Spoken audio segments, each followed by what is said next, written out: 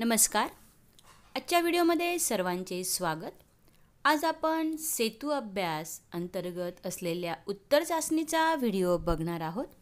इयत्ता सातवी विषय गणित या संदर्भाने असणाऱ्या उत्तर चाचणीची सर्व उत्तरे सविस्तर बघणार आहोत. आणि हो पुढेही प्रसिद्ध होणाऱ्या सर्व विषयांच्या प्रत्येक इयत्तेच्या उत्तर चाचणीच्या व्हिडिओंची माहिती मिळविण्यासाठी हे यूट्यूब चॅनल सबस्क्राईब करा. व्हिडिओला लाईक व शेअर करा. बघूयात आजचा व्हिडिओ इयत्ता सातवी तुम्हाला गुण आहेत तीस. प्रश्न पहिला योग्य जोडी शोधून उत्तर लिहायची आहे. आकार घन चौकोनी सूची त्रिकोणी चिती आणि त्रिकोणी सूची. यांच्या शिरोबिंदू व कडा शोधून लिहायचे आहेत. घनाला आठ शिरोबिंदू आणि बारा कडा असतात. चौकोनी सूचीला चार शिरोबिंदू आणि सहा कडा असतात. त्रिकोणी चिती आणि त्रिकोणी सूची यामध्ये फरक समजून घ्या. आणि मग त्रिकोणी चिती पाच शिरोबिंदू आणि आठ कडा त्रिकोणी सूची उरलेले आहेत. सहा शिरोबिंदू आणि नऊ कडा. या पद्धतीने प्रश्नाचे उत्तर येणार आहे. प्रश्न दुसरा इथे सोडवायचा आहे आपल्याला. खालील संख्यांच्या विरुद्ध संख्या लिहायच्या आहेत. वजा सतराची विरुद्ध संख्या धन सतरा येणार आहे म्हणजेच आपण फक्त सतरा उत्तर देखील लिहू शकतो. आणि तेराची विरुद्ध संख्या ही धन तेराची विरुद्ध संख्या ऋण तेरा येणार आहे. या पद्धतीने आपण आपले उत्तर चौकटीत नोंदवायचे आहे. प्रश्न दुसऱ्याचा ब आकडा बघा. उदाहरणे येथे सोडवायची आहेत. वजा पाच कंसात अधिक कंसात अधिक नऊ. आता येथे वजा पाच अधिक नऊ वजा अधिक वजा वजा गुणिले अधिक वजा होतो म्हणून नऊ वजा पाच यांची वजा बाकी चार येते आणि मोठ्या संख्येचं चिन्ह धन चार. पुढील गणितात सुद्धा वजा चार वजा कंसात वजा नऊ. आता कंसातील वजा वजा अधिक होणार आहे. म्हणजे वजा चार अधिक नऊ पाच उत्तर येते. पुढील क प्रश्न सोडवा. पाच पूर्णांक एक छेद पाच अधिक दोन पूर्णांक एक छेद सात. हे उदाहरण आपल्याला सोडवायचे आहे. तुम्ही पूर्णांकांची बेरीज करून आणि मग उरलेल्या अपूर्णांकाची सुद्धा छेद समान करून बेरीज करू शकतात. या ठिकाणी मी डायरेक्ट त्यांचं उत्तर तयार केलेलं आहे. बघा पाचा पाचा पंचवीस आणि एक सव्वीस छेदी पाच अधिक पंधरा छेदी सात यांचे मी छेद समान केलेले आहे. छेद समान करण्यासाठी पाच गुणिले सात पस्तीस हा छेद घेतलेला आहे. त्यामुळे एका अंशाला सातने गुणलेला आहे. सॉरी एका अपूर्णांकाला सातने गुणलेलं आहे आणि दुसऱ्या अपूर्णांकाला पाचने गुणलेलं आहे. आणि उत्तर येते एकशे ब्याऐंशी छेद पस्तीस. अधिक पंच्याहत्तर छेद पस्तीस यांची बेरीज करायची आहे आणि ती येते दोनशे सत्तावन्न छेद पस्तीस. आणि या पद्धतीने आपण बेरजेचे उत्तर नोंदवू शकतो. संक्षिप्त रूप जात असल्यास ते तुम्ही अवश्य द्यायचे आहे पण या ठिकाणी हेच उत्तर येणार आहे. पुढील प्रश्न दुसरा सात पूर्णांक एकशे आठ वजा सहा पूर्णांक एकशे दहा यांची येथे आपल्याला वजाबाकी करायची आहे. येथे सुद्धा मी या पद्धतीने उत्तर सोडविलेले आहे. सत्तावन्न छेदी आठ वजा एकसष्ट छेदी जा दहा यांच्या आठ आणि दहाचा लसावी येथे मी चाळीस काढलेला आहे आणि दोघांचा छेद चाळीस करण्यासाठी एका अपूर्णांकाला पाचने व दुसऱ्या अपूर्णांकाला चारने गुणून दोनशे पंच्याऐंशी छेद चाळीस वजा दोनशे चौवेचाळीस छेद चाळीस. यांची वजाबाकी येथे दोनशे पंच्याऐंशी वजा दोनशे चौवेचाळीस एक्केचाळीस उत्तर येते. आणि त्यामुळे आपले अपूर्णांकाची उत्तर येणार आहे एक्केचाळीस छेद चाळीस. या पद्धतीने तुम्ही उदाहरणाची मांडणी करायची आहे. व्हिडिओला घाई होत असल्यास पॉज करून तुम्ही बघू शकतात. पुढील प्रश्न तिसरा चार छेद अकरा गुणिले दोन छेद सहा यामध्ये या अपूर्णांकांचा गुणाकार करायचा आहे. गुणाकारामध्ये प्रथम आपण संक्षिप्त रूप देऊन घ्यायचं आहे. दोन छेद सहा याचं एक छेद तीन होतो आणि उरलेला मग अपूर्णांकांचा गुणाकार चार छेद तेहतीस या पद्धतीने येणार आहे. बघा गुणाकारामध्ये संक्षिप्त रूप दिल्याने आपल्याला गुणाकार करून उत्तर लिहिणे सोपे जाते. त्यामुळे जेथे भाग जात असेल तेथे अवश्य संक्षिप्त रूप द्यायचे आहे. पुढील प्रश्न तीनशेद आठ भागिले तीनशे दोन या ठिकाणी आपल्याला अपूर्णांकांचा भागाकार करायचा आहे. आणि तुम्हाला नियमानुसार माहितीच असेल की भागाकार करताना जेव्हा आपण गुणिले चिन्ह लिहितो तेव्हा दुसऱ्या अपूर्णांकाचं व्यस्त येथे लिहायची असते. तीनशेद आठ गुणिले तीनशेद दोनचा आपण दोनशे तीन लिहिलेला आहे. संक्षिप्त रूप द्यायचे आहे आणि त्यानंतर उत्तर येणार आहे तुमचे एक छेद चार. संक्षिप्त रूप देताना अंश आणि छेदाला एकाच संख्येने भाग जाईल अशी संख्या शोधून भागाकार करायचा आहे. या पद्धतीने आपण आपले उत्तर नोंदवायचे आहे. पुढील प्रश्न बघा. प्रश्न क्रमांक तीन सोडवा. चाळीस अधिक सत्तावीस दशांश चिन्ह सात. या ठिकाणी दशांश चिन्हांची बेरीज करायची आहे. आणि या उत्तराची तुम्ही प्रश्नाची तुम्ही हुबी मांडणी करून घ्यायची आहे. दशांश चिन्हाच्या खाली दशांश चिन्ह आले पाहिजे. पूर्ण संख्या एका बाजूला आली पाहिजे. चाळीस अधिक सत्तावीस दशांश चिन्ह सात या पद्धतीने मांडणी करायची आहे.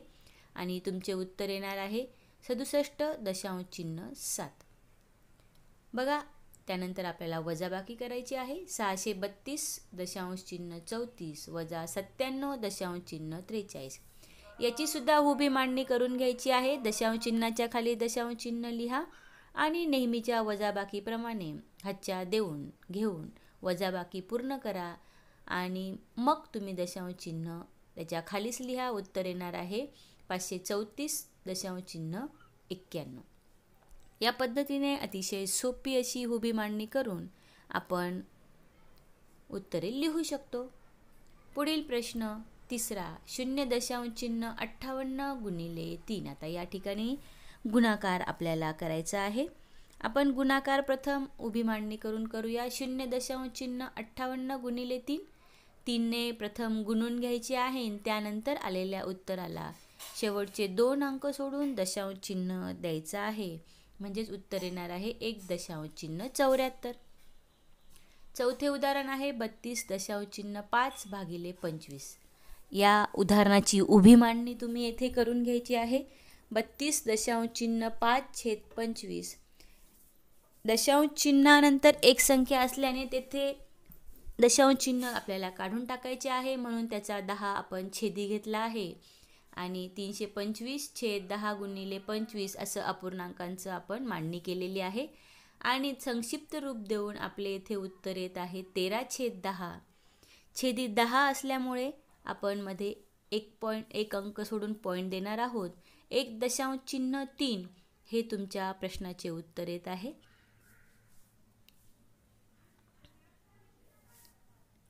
पुढील प्रश्न क्रमांक चौथा खालील उपप्रश्न तुम्हाला सोडवायचा आहे आणि प्रत्येकी एक गुण आहे. कंपास पेटीतलं साहित्य वापरून तुम्हाला एकशे वीस अंश मापाचा कोण काढायचा आहे आणि तो दुभागायचा आहे. त्यासाठी तुम्ही प्रथम खाली रेष काढायची आहे. तिचे माप तुम्ही कितीही घेऊ शकता. आणि त्याही कोणत्याही एका टोकावर तुम्ही कोण मापक ठेवून एकशे वीस अंशाचं माप मोजायचं आहे. आणि त्या ठिकाणी डॉट देऊन तुम्ही तो कोण पूर्ण करायचा आहे. या पद्धतीने एकशे वीस अंशाचा कोण काढा. आणि कंपासच्या मदतीने तुम्ही त्याला दुभागायचं आहे. आकृतीत दिलेल्या कृतीचे तुम्ही निरीक्षण करा. आणि त्या पद्धतीने अचूक असा कोण तुम्ही दुभागायचा आहे? त्यासाठी पेन्सिलचे टोक टोकदार असावे हे लक्षात घ्या. पुढील प्रश्न क्रमांक दोन. सहा दशांचिन्ह दोन सेमी लांबीचा रेक ए बी काढून कंपास व पट्टीच्या साह्याने दुभागायचा आहे. आता येथे आपल्याला रेक दुभागायची आहे. नाव दिलेले आहे ए बी म्हणून प्रथम आपण पट्टीच्या साह्याने सहा दशांश चिन्ह दोन म्हणजे सहा पॉईंट दोन सेमी लांबीची रेख काढून घ्यायची आहे. आणि कंपास घेऊन कंपासमध्ये सहा पॉईंट दोन अंतर घेऊन दोन्ही बाजूला दुभाजकाचे चिन्ह द्यायचे आहे आणि मग त्यांचे बिंदू साधून मध्यबिंदू साधून त्यांना पट्टीने रेषा मारायची आहे. या पद्धतीने तुम्ही ही रेख दुभागू शकता. रेषेचे दोन समान भाग येथे होणार आहेत. कृतीचे निरीक्षण करा आणि तुमची अचूक आकृती तुम्ही काढा. पुढील प्रश्न क्रमांक पाच. शाब्दिक उदाहरणं येथे आपल्याला सोडवायची आहे. कवायतीसाठी पटांगणावरील मुलांच्या प्रत्येक रांगेत वीस मुले किंवा प्रत्येक रांगेत पंचवीस मुले राहतील अशा रांगा केल्यास एकही मुलगा शिल्लक राहत नाही. तर त्या शाळेत कमीत कमी किती मुले आहेत? आता या ठिकाणी आपल्याला वीस आणि पंचवीस यांचा लसावी काढणे आवश्यक आहे. त्यासाठी प्रथम त्यांचे मूळ अवयव आपण काढूया. वीसचे मूळ अवयव पाच गुणिले दोन गुणिले दोन आणि पंचवीसचे मूळ अवयव पाच गुणिले पाच. आता या ठिकाणी सामायिक अवयव पाच आहे आणि उरलेले असामायिक अवयव यांचा गुणाकार पाच गुणिले पाच गुणिले दोन गुणिले दोन आणि उत्तर येते शंभर. म्हणजे कमीत कमी शंभर मुले शाळेत आहे. आता तुम्ही करून बघा वीस मुलांच्या रांगा केल्या तरी विसापाचा शंभर आणि पंचवीस मुलांच्या रांगा केल्या तरी पंचवीस चोक शंभर. एकही मुलगा येथे शिल्लक राहत नाही. म्हणजे आपले उत्तर अचूक आहे. या पद्धतीने लसावी काढून आपण आपले उत्तर नोंदवायचे आहे. पुढील प्रश्न क्रमांक दोन. तीन एकर शेतीची मशागत करण्यासाठी ट्रॅक्टरला पंधरा लिटर डिझेल लागते. तर एकवीस एकर शेतीची मशागत करण्यासाठी किती लिटर डिझेल लागेल? बघा या ठिकाणी तीन एकरला पंधरा लिटर डिझेल लागते. तर एकवीस एकरला किती लिटर डिझेल लागेल? यामध्ये प्रमाण आपण ओळखायचं आहे. या पद्धतीने मांडणी करून तुम्ही तुमचं उत्तर लिहायचं आहे. एकवीस गुणिले पंधरा छेदी तीन याचा तुम्ही संक्षिप्त रूप देऊन भागाकार करून या पद्धतीने तीन एक तीन तीना पाचे पंधरा आणि एकवीस गुणिले पाच बरोबर एकशे पाच. म्हणजेच एकवीस एकर शेतीची मशागत करण्यासाठी एकशे पाच लिटर डिझेल लागेल. बघा अतिशय सोप्या पद्धतीने आपण आपली उत्तरे सोडवित आहोत. दिलेली पद्धत तुम्ही समजून घ्या आणि उदाहरण सोडवा. किंवा तुम्ही एक एकरची किंमत काढूनसुद्धा एकवीस एकरची डिझेलची किंमत काढू शकता. पुढील प्रश्न दोन. बघूयात. तीन. सतीशचे आजचे वय आठ वर्ष आहे आणि सतीशच्या आईचे वय छत्तीस वर्ष आहे. तर आईच्या वयाचे सतीशच्या वयाच्या आजची असलेले आजच्या वयाशी असलेले गुणोत्तर तुम्हाला काढायचे आहे. मग प्रथम आपण मांडणी करूया. सतीशचे आजचे वय आठ वर्ष आणि आईचे वय छत्तीस वर्ष. त्यांचा आपण भागाकार करूया. आठ छेदी छत्तीस आणि उत्तर येते दोन छेद नऊ. परंतु आपल्याला. या ठिकाणी आईच्या वयाचे सतीशच्या वयाशी गुणोत्तर विचारलेले असल्यामुळे त्याचं गुणोत्तर येणार आहे नवाज दोन. जर आपल्याला सतीशच्या वयाचे आईच्या वयाशी गुणोत्तर विचारले असते तर उत्तर आले असते दोनास नऊ. म्हणून ही गोष्ट समजून घ्यायची आहे की कोणाचे वयाचे गुणोत्तर कोणाच्या वयाशी विचारलेले आहे आणि ज्या व्यक्तीचं गुणोत्तर विचारलेलं असेल त्याचा प्रथम अंक घ्यायचा आहे. म्हणून येथे आपण इथे नवाज दोन हे गुणोत्तर प्रमाण घेतलेले आहे. उदाहरण तुम्ही पॉज करून बघू शकता आणि सोडू शकता. पुढील प्रश्न समिंद्राने पन्नास सफरचंदाची एक पेटी साडेचारशे म्हणजे चारशे पन्नास रुपयांना खरेदी केली. सर्व सफरचंद त्याने दहा रुपयास एक याप्रमाणे विकली. तर त्याला नफा झाला की तोटा आणि किती टक्के? या ठिकाणी आपल्याला उदाहरणाची मांडणी करायची आहे. समिंद्राने पन्नास सफरचंदांची एक पेटी साडेचारशे रुपयांना घेतली. म्हणजेच पन्नास सफरचंदांची खरेदी किंमत आहे चारशे पन्नास रुपये.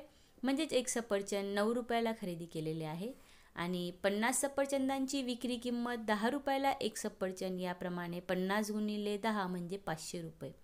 आता या ठिकाणी आपल्याला लगेच लक्षात येते की नफा झालेला आहे. विक्री किंमत जास्त आहे. नफा झालेला आहे. पन्नास रुपये त्याचे सूत्र मांडून तुम्ही तो काढायचा आहे. विक्री किंमत वजा खरेदी किंमत. आता शेकडा नफा काढा. चारशे पन्नास रुपयाला पन्नास रुपये नफा तर शंभर रुपयाला किती? या पद्धतीने तुम्ही मांडणी करा. पन्नास छेदी चारशे पन्नास गुणिले शंभर. आणि उत्तर येते अकरा दशांश चिन्ह अकरा टक्के शेकडा नफा येथे झालेला आहे. या ठिकाणी तुम्हाला अपूर्णांकांचा भागाकार अंश आणि छेद यांचे संक्षिप्त रूप देणे जमल्यास तुम्हाला उत्तर सोपे वाटणार आहे. त्यासाठी सोपी पद्धत तुम्ही प्रथम शून्य कट करून घ्यायचा आहे अंशाचा आणि छेदाचा. आणि त्यानंतर पुढील भागाकार करायचा आहे. आता बघूयात पुढील प्रश्न. ढवळेश्वर गावातील शाळेत पाचशे विद्यार्थी आहेत. चारशे विद्यार्थ्यांना पोहता येते. तर किती टक्के विद्यार्थ्यांना पोहता येते? ते शेकडेवारीचं हे उदाहरण आहे. यामध्ये आपल्याला टक्के काढायचे आहेत. बघा त्या शाळेतील पाचशे विद्यार्थी आहेत आणि त्यापैकी चारशे विद्यार्थ्यांना पोहता येते. म्हणजेच पाचशेपैकी चारशे विद्यार्थ्यांना पोहता येते. टक्केवारी काढायची आहे म्हणजे शंभरपैकी किती विद्यार्थ्यांना पोहता येते हे आपल्याला काढायचे आहे. या पद्धतीने तुम्ही गणित मांडायचे आहे. चारशे भागिले पाचशे. गुणिले शंभर. याला संक्षिप्त रूप द्या. प्रथम तुम्ही शून्य कट करून घ्या. अंशाचे दोन आणि छेदाचे दोन. उरलेल्या पाचाने वरील अंशाला भाग द्या. उत्तर येणार आहे ऐंशी टक्के. म्हणजे ऐंशी टक्के विद्यार्थ्यांना पोहता येते. पाचशेपैकी चारशे विद्यार्थी म्हणजे शंभरपैकी ऐंशी टक्के विद्यार्थ्यांना पोहता येते. या ठिकाणी तुमचे उत्तर येईल. पुढील प्रश्न शेततळे तयार करण्यासाठी किसनरावांनी बँकेकडून पस्तीस हजार दोनशे पन्नास रुपये दर साल दर शेकडा सहा दराने एका वर्षासाठी घेतले. तर त्यांना वर्ष अखेरीस बँकेस किती रुपये कर्ज द्यावे लागेल? सॉरी व्याज द्यावे लागेल? तर यामध्ये आपण प्रथम दिलेली माहिती लिहून घ्यायची आहे. मुद्दल दर आणि मुदत. दर आहे सहा आणि मुदत आहे एक वर्ष.